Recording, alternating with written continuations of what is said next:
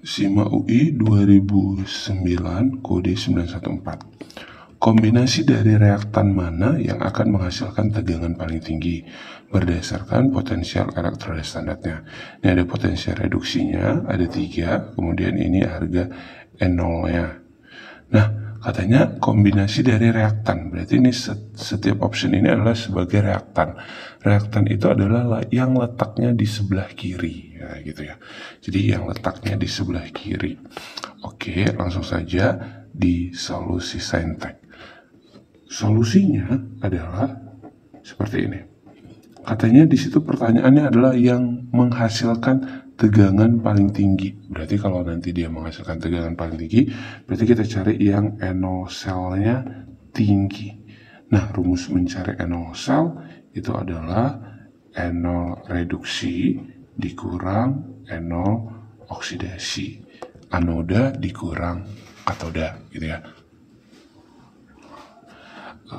Katoda reduksi anoda oksidasi. Katoda dikurang uh, anoda gitu ya oke nah ini dia. Sebenarnya triknya sih mudah. Itu caranya adalah gini. Kita buat triknya dulu baru nanti penjabarannya ya biar supaya paham. Jadi kalau triknya itu sebenarnya mudah. Nah kalau ada suruh cari potensial paling tinggi, berarti kita urutin dari direct volta dulu. Nah dari volta itu kita mulai dari N0 yang paling kecil sampai N0 yang paling besar. Nah yang ke kiri nanti dia mengalami oksidasi, yang ke kanan berarti nanti dia reduksi, ya kan? Ini nanti dia sebagai anoda, ini katoda. Maka tadi sini katoda kurang anoda boleh juga. Nah kita cari di sini N0-nya yang paling kecil mana? yang ini ya min 0,41 siapa itu min 0,41 ada si uh, eh, CR ya kan berarti di sini ada si CR berarti kita tuliskan ada si CR 3 pos. Kemudian habis itu yang paling kecil lagi yang paling kecil ada si SN ya. Berarti sini ada SN 2 pos. Nah yang terbesar adalah 0,52 berarti ini adalah punya si CU. Nah, kalau pertanyaan yang paling besar, berarti kita ambil yang ujung paling kiri sama ujung paling kanan. Berarti ada si CR, yang ada CR yang mengalami oksidasi, yang ada CU-nya. Berarti yang mana yang ada CR sama si CU-nya? Ini CUSN, CU plus CR ya. CUSN, SNCR, SNCR. Berarti yang ada CU sama CR-nya yang yang B. Berarti jawabannya nanti yang B. Nah, pembuktiannya bagaimana? Pembuktiannya seperti ini. Oke, kita cek satu persatu. Kan tadi rumusnya adalah enol reduksi dikurang enol oksidasi. Yang A dulu ya, kita cek. CU pos dan SN2 pos. Ini tadi katanya step optionnya adalah sebagai reaktan. Jadi CU pos, CU pos itu ada di mana?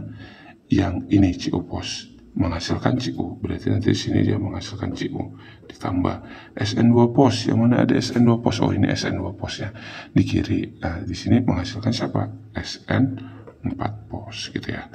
Nah di sini kita cek dulu bloksnya ini berapa bloksnya satu sesuai muatannya. Ini bloksnya dua sesuai muatannya. Ini nol sendiri ya kan?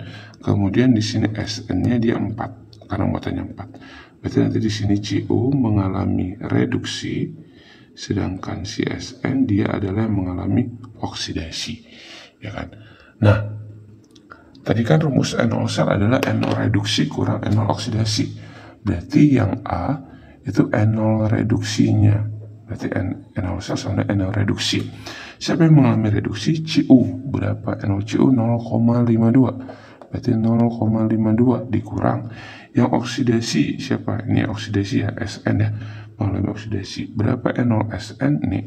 Kurang 0,15. Berarti 0,52 kurang 0,15 adalah 0,37 volt gitu ya. 0,37 volt. Nah, yang B itu caranya sama. Berarti di sini CU pos ditambah CR2 pos. CU pos ini ya, CU pos menghasilkan CU Oke, CR2 pos mana CR2 pos ini ya? CR2 pos itu kan hasilnya adalah CR3 pos. Nah, gitu deh. Ini satu, ini nol, berarti ini pasti mengalami reduksi. Kalau ini reduksi ini pasti dia mengalami oksidasi gitu kan. Karena dari dua biloksnya ke tiga. Nah, tadi rumus mencari NO sel apa? NO sel sama NO reduksi. Siapa yang mengalami reduksi CU? Berapa nolnya? 0,52 dikurang. Yang mengalami oksidasi siapa? CR. Berapa nol CR? Min lagi, min 0,41. Berarti min kali min pos. Berarti ini jadi 0,93 volt. Nah, seperti itu. Jadi kalau yang C, yang C, misalnya kita cek yang C. CU tambah SN4 pos, berarti CU, CU ini ya, hasilnya CU pos, berarti sini CU pos tambah SN4 pos mana ini? SN4 pos, hasilnya SN2 pos, berarti SN2 pos, eh sorry maaf, ini 2 pos. Ini 4, ini 2, berarti ini dia mengalami reduksi, otomatis ini dia mengalami oksidasi.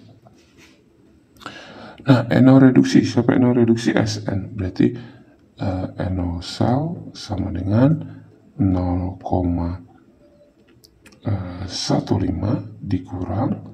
Kemudian yang oksidasi adalah CU. CU itu adalah 0,52. 0,52. Oke, berarti ini hasilnya minus ya. 0,37 volt. Nah, ini selnya dia negatif. Nah, nanti cari yang D dengan E dengan cara yang sama.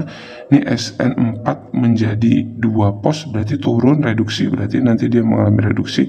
CR2 pos menjadi CR3 pos, berarti ini oksidasi. Berarti ini N0 ini nanti 0,15 dikurang 0, min 0,41. Nanti hasilnya adalah 0,56. Ini SN2 pos, ini menjadi SN4 pos, berarti oksidasi.